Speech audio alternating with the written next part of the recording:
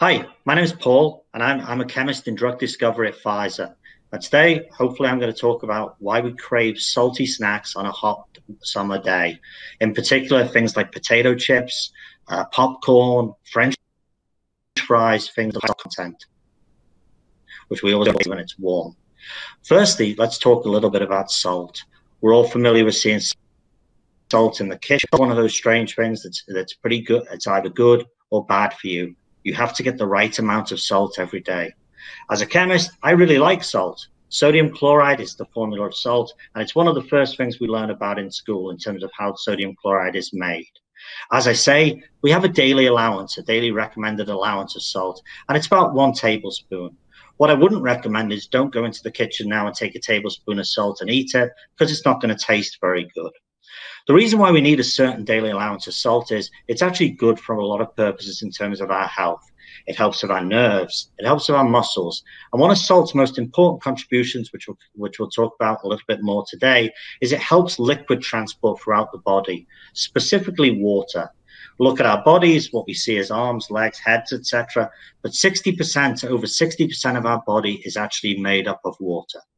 As I said, salt has many benefits, but if we take too much salt, it also has bad implications sometimes for our health, in particular with our blood pressure. One thing to be careful about with salt is salt is in a lot of foods and we don't even realize it. For example, if you take a slice of pizza, it has about one third of our daily allowance of salt in. So if you take your three slices of pizza, you're pretty much done for the day. But there's a lesson there to learn as well. Salt is in a lot of food, but often you can't taste it. The flavor of salt is covered up by all the good things, such as the tomato, the cheese and pizza and pepperoni. So you're also taking in salt without even knowing it. So back to what we want to talk about today is why do we sort of crave salt when it's a hot day? Hot days and when we exercise, something happens. What you'll notice is you'll have moisture in your forehead when we're sweating. Our bodies are pretty smart and basically have a control panel of certain mechanisms to sort of keep us cool or warm us up at certain times. And sweating is part of one of these mechanisms. Sweating is, is a sort of way that the body uses to keep us cool what our body does is it pumps water out onto our forehead. And basically, when that water evaporates, it cools us down. So it's like an internal air conditioning for our bodies. However, there's something kind of interesting about sweat. What happens is if you let sweat drip into your eyes, if you've been exercising very hard, what you'll find is it stings a little bit. You'll also find that if you just put water in your eyes, that doesn't sting. So there's something else in our sweat as well.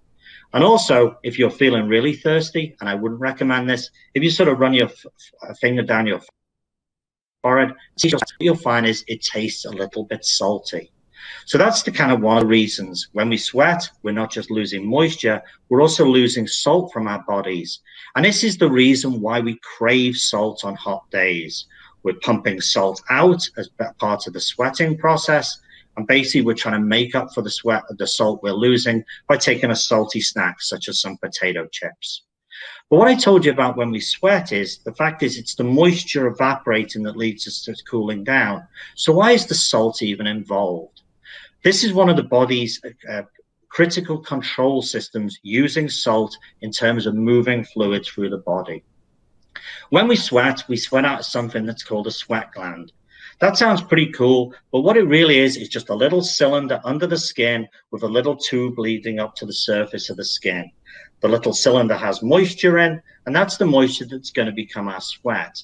What you'll notice is we don't sweat all the time. So basically, we sort of have to have some sort of process that pushes the moisture out of the cylinder up to the surface of our skin.